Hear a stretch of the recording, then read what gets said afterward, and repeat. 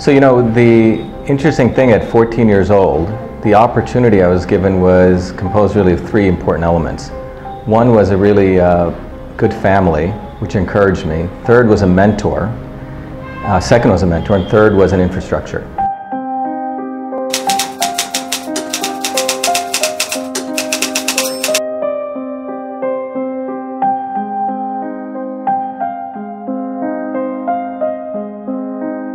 Sure. So, you know, I was born in India in 1963. I was born in Bombay, but I had a dual life even in India.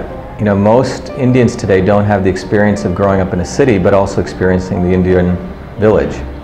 So I would spend at least one third of my time in a small Indian village in near uh, Rajapalayam called Mohur, where my grandparents were farmers. In fact, my grandmother was a Siddhar, but she was also a farmer. So was my grandfather. So I grew up in this very dual environments, even in India. So I had the experience of Bombay, a very cosmopolitan, completely chaotic world, and then this very serene, emerald, you know, landscaped uh, village in India where I would see my grandmother get up in the morning, 30 people would be lined up, she would do Samudraka Lakshanam on them, which is review their face, do pattern analysis, and then give them different types of uh, modalities of medicine, be it massage, herbs, etc. So she was practicing what we call personalized medicine today. So I was fascinated by that. So my early life in India was this village environment plus the city environment, right? And in both those environments, uh, I was always compelled to find some type of unity across these very disparate worlds.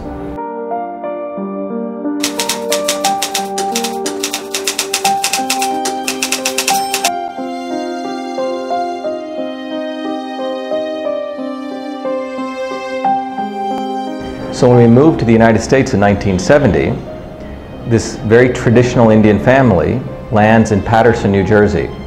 Now this is 1970. Uh, literally on my seventh birthday, we landed in the United States, December 2nd.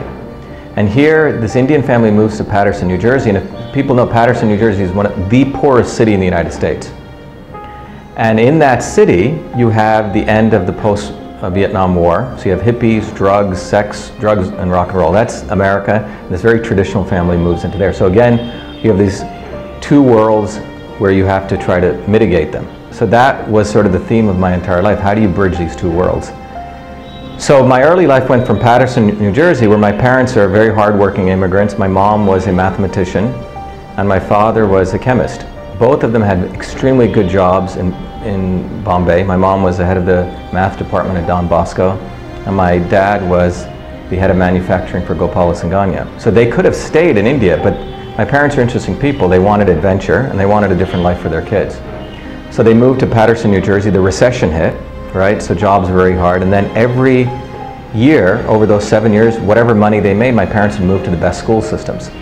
So within seven years, Livingston, New Jersey is probably the wealthiest top 10 wealthiest cities in the United States. So my parents moved there primarily for the school system. And when I came there, my sister and I were the only two Indians among 4,000 students.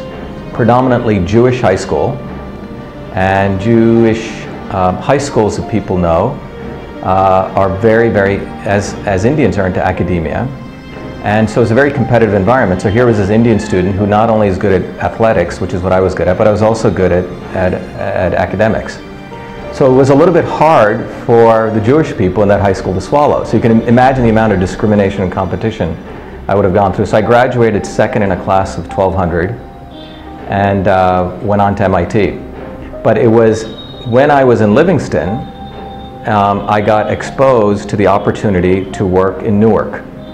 So what had happened to me was in 19, early 1978, I was one of 40 students in the United States, the only Indian who was accepted into a program to go to New York University. So I was only 14. That program only accepted students in their 17, 18 years old. So here a young Indian student gets accepted to study computer programming at one of the most prestigious mathematical institutions in the world, Courant Institute of Mathematical Sciences at NYU. So I would uh, take a bus to Newark and then take a train into New York City in the summer. Very dangerous place at that time, right? So I learned, you know, immersed myself in computer programming, learned seven different programming languages, By the time I came back to school that fall, I had actually finished all the math courses and was quite bored and actually wanted to drop out of high school. So my mom introduced me to this very interesting gentleman who was a physicist, Leslie P. Michelson, who worked at the University of Medicine Dentistry of New Jersey, and there begins the story of the invention of email.